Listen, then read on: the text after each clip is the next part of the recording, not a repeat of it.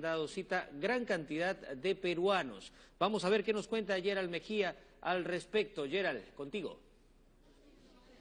Así es, Julio, la fiesta de la independencia se celebra con mucho orgullo patrio y es que un verdadero peruano demuestra el amor por su país de diferentes formas y en distintos contextos. Es por ello que los asistentes a la gran parada y desfile cívico-militar están, están recibiendo una bolsita biodegradable donde van a arrojar los desperdicios, los van a guardar al término del desfile, los van a botar en eh, los contenedores que ha ubicado el Ministerio del Ambiente por eh, toda la avenida Brasil. Vamos a conversar justamente, a ver, con una señora. Señora, ¿cómo le va? Muy buenos días, felices fiestas. Ya sabe para qué sirve la bolsita. Sí, para botar todos los residuos que hoy día usemos este, hasta que lleguen nuestros mártires a desfilar.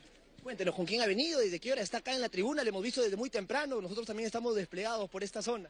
Sí, bueno, hemos venido un grupo de padres del Colegio Leoncio Prado, que somos de la promoción 71, a ver desfilar a nuestros hijos, orgullosos de ellos. Con mucho orgullo en esa fiesta, ¿no? Y en especial si hay un familiar que está participando en ese desfile. Sí, definitivamente, es un orgullo. Listo, muy amable. Vamos aquí a, bajar esta gradería porque tenemos a una familia. Es eh, gratificante que los pequeños también comiencen a entender cómo es que se debe amar al país y una de esas formas es dejando limpio el lugar donde nos encontramos. Señora, cuéntenos, ¿usted ha venido con la más pequeñita, la mayorcita también? Sí, ella es mi sobrina, mi hija y mi hermana. Acá la, mi sobrina está estudiando a ingeniería ambiental. Ah, qué bueno. Muy importante entonces, para que nos explique un poco más ella que eh, sabía en el tema. Cuéntenos, ¿cómo te va? Muy buenos días, felices fiestas. Muy felices fiestas. Bueno, es importante reciclar y cuidar el medio ambiente para dejar un buen planeta para futuras generaciones.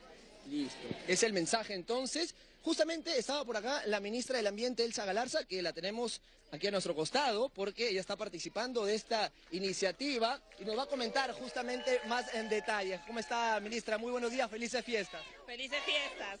Bueno, muy bien, estoy acá muy contenta de tener este público acá tan este, cívico y que nos va a ayudar el, eh, el día de hoy y en los futuros días a tener un Perú más limpio. Esa es la idea de esta, de esta campaña.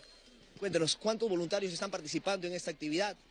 Estamos con 250 voluntarios el día de hoy, además de un apoyo de las municipalidades también, del sector privado, que nos ha permitido justamente entregar estas bolsas, 20 mil bolsas a todos los asistentes el día de hoy en las tribunas, pero también tenemos 50 contenedores a lo largo de la avenida Brasil, de tal manera que no hay forma de que ustedes no encuentren un sitio donde botar su basura y yo les pido a todos que regalemos eso al Perú el día de hoy, ¿no? Un Perú más limpio y que la noticia sea todo quedó limpio, no como otros años. Exacto. Eh, muchas gracias, ministra, por estas palabras. La dejamos eh, continuar con, la actividad. Bien, es importante lo que dice la ministra porque otros años siempre hemos visto un ambiente, un panorama desolador. Eh, hasta se podría decir de lástima porque se encuentra la Avenida Brasil, luego el desfile completamente repleta de basura. El mensaje está aprendido, ¿no, señores?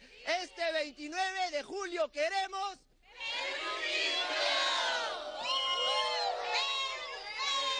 Bien, Julio, es eh, el orgullo peruano que se demuestra de esta manera. Muy bien, muchas gracias entonces a Gerald Mejía. Bueno, efectivamente, ¿no? Perú limpio es lo que queremos, esperemos que en realidad utilicen bien esas bolsitas de, de papel que les están entregando para que desechen la basura ahí y luego en los diferentes depósitos que están ubicados eh, a lo largo de toda la avenida Brasil dejen estas bolsitas con los residuos. Muy bien, vamos ahora con Manuel Igreda nuevamente.